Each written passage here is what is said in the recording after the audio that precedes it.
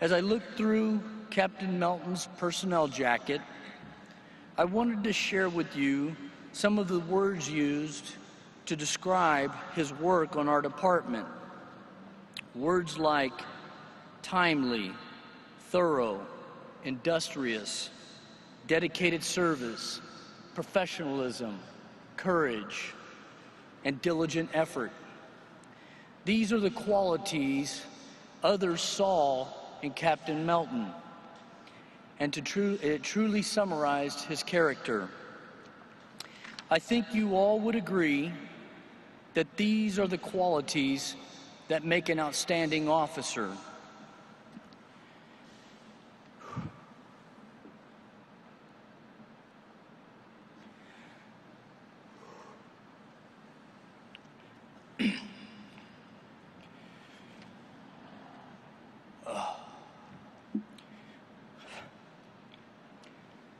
When, when Detective Brad Lancaster was murdered on May 9, 2016, I reached out to Captain Melton the next morning and I, helped, I asked him to help us guide us through the mil- military style honors a fallen hero deserves.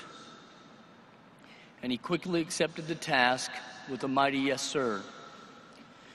Just prior to Brad's funeral, I asked Captain Melton to create a how to manual for a fallen officer's funeral.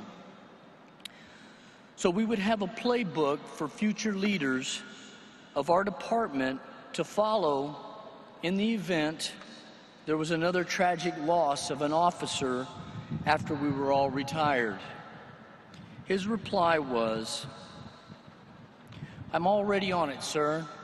I am taking meticulous notes, and I will have it done shortly after the funeral. He was true to his word and completed the manual about two weeks ago. When he delivered the manual to the chief's office, he said, It's all done. Put it on the shelf, and hopefully we'll never have to use it again. It was with a heavy heart